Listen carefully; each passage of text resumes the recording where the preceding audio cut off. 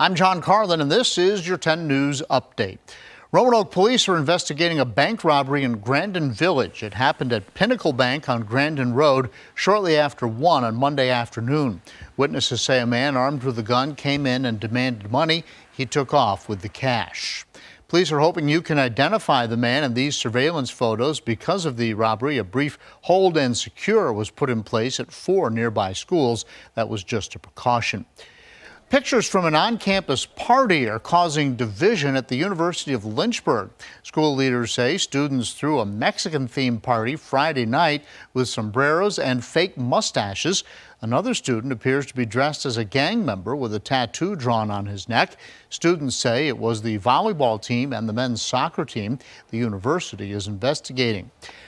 Popular Roanoke restaurant that's been closed since May because of an explosion and fire is back open. Famous Anthony's reopened on Williamson Road on Monday. It was mostly gutted, but rebuilt to look just like it did before it was destroyed by the flames. The May fire was blamed on an explosion caused by a gas leak, causing about $250,000 in damage. A reminder, you can get updates with WSLS.com and the 10 News app. I'm John Carlin, 10 News, working for you.